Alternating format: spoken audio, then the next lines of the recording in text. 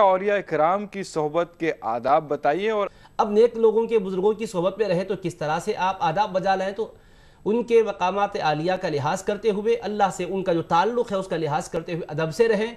और उनकी बारगाहों का अदब का मतलब क्या है? सिर्फ़ अदब से हाज़िरी देना ही काफ़ी नहीं है, फैज़ हासिल करना है। तो उसके लिए बेहतर तरीका यही है कि वो जो अजगार किया करते थे, वो ज़िक्रों के पाबंद बने, उनकी जो ज़िंदियाँ थी, उसके मुताबिक ज़िंदियाँ गुजारें।